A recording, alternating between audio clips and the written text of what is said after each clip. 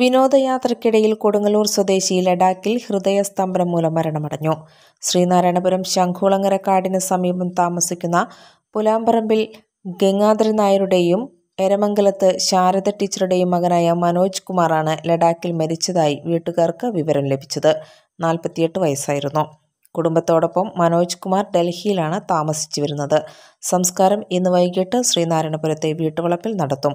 ഭാര്യ സരിത മകൾ അനശ്വര.